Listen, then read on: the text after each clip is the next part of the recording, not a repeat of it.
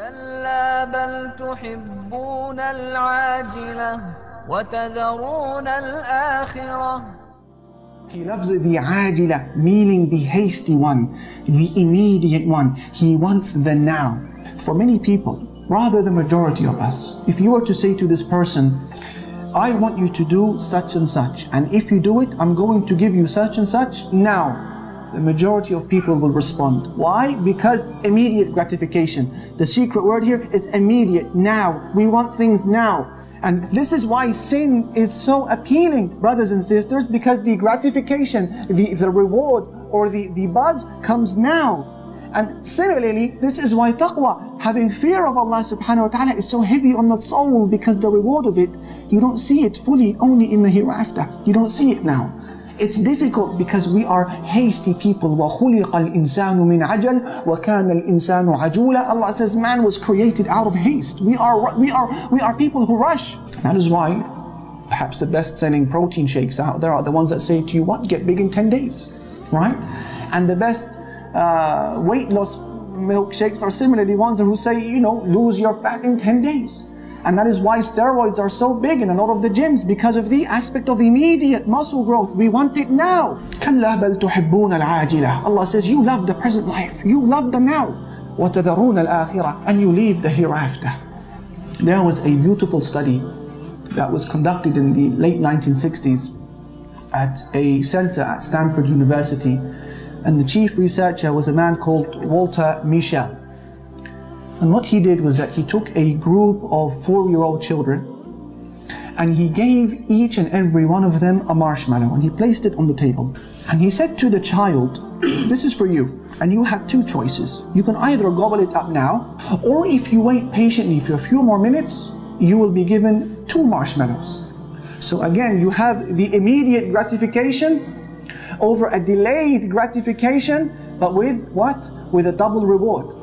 Huh? Dunya and akhirah. Subhan- the analogy is so similar. Allahu Akbar. And then he began to analyze them, and the supervisor left the room, and there was a camera recording the behavior of these children. Subhanallah, it is amazing.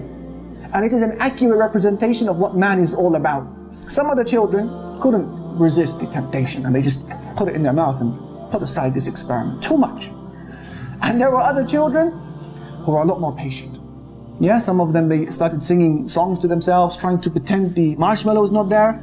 Other children they turned their back to the table, trying to ignore it. Yeah, other children were even seen licking circles around the marshmallow. Maybe you'd accidentally lick the marshmallow on the way, right? Subhanallah al-Azim. What is interesting about this study, because it's very long term, yeah, often cited and very interesting. After 14 years, the same researcher went to these children who took part in this experiment. And he began to, he began to analyze their demeanor, their personalities, and what type of people they became to be. He found, subhanAllah, that the children who ate the marshmallow right at the start without delaying for two, they were people who were seen as very vulnerable. They were vulnerable and prone to all types of difficulties. Their parents and teachers described them as being very prone to jealousy. They were not very assertive in school. Their grades in their SATs uh, uh, uh, exams were significantly less than everybody else's. They were quite unreliable. They didn't have much of a personality.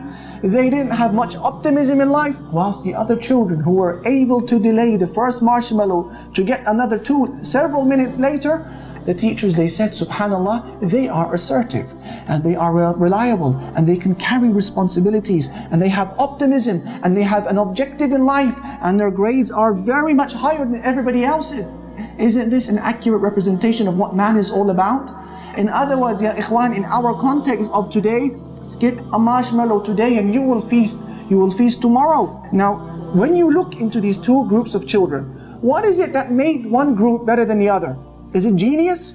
Super intelligence? They're all four-year-olds. What is it that made them different to the others? It is a combination of two precious abilities, ya ikhwan. If we were to apply these two abilities in our journey to our Creator, subhanahu wa ta'ala, you will pass almost every exam by the permission of Allah when you are given a choice between the halal, the pure halal, and the polluted haram. What are these two characteristics? Number one, visualization of the outcome. An ability to visualize the outcome, the two marshmallows in the end.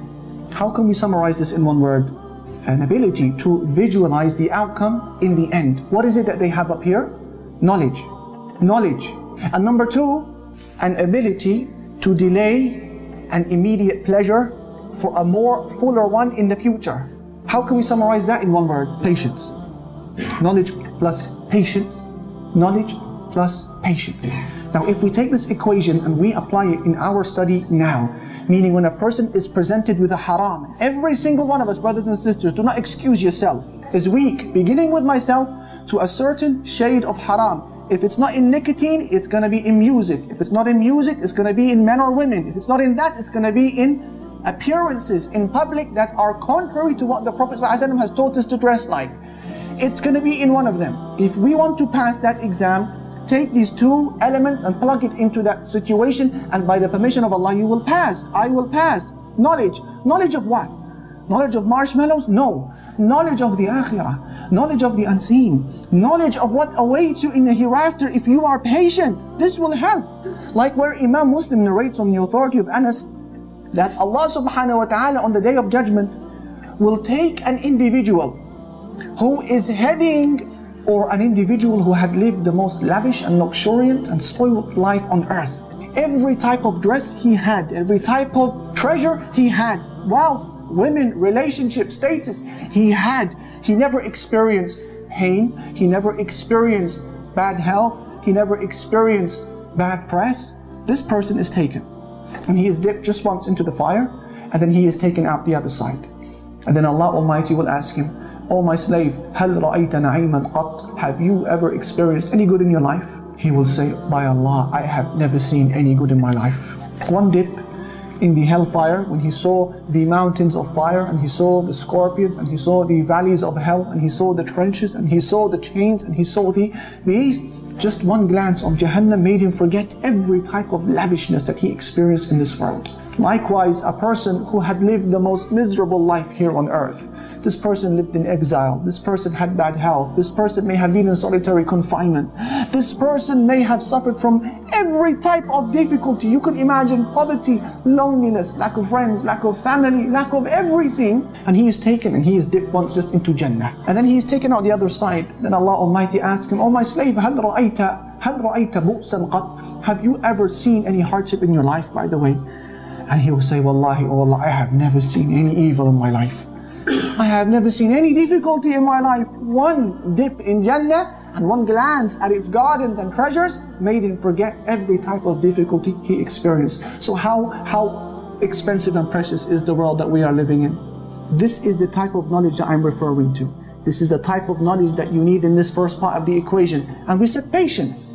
Patience. That is what the first, the second group of kids they had over the other. Patience. What do we mean in this context? Patience by knowing that paradise is simply a home for those who are patient here in this world.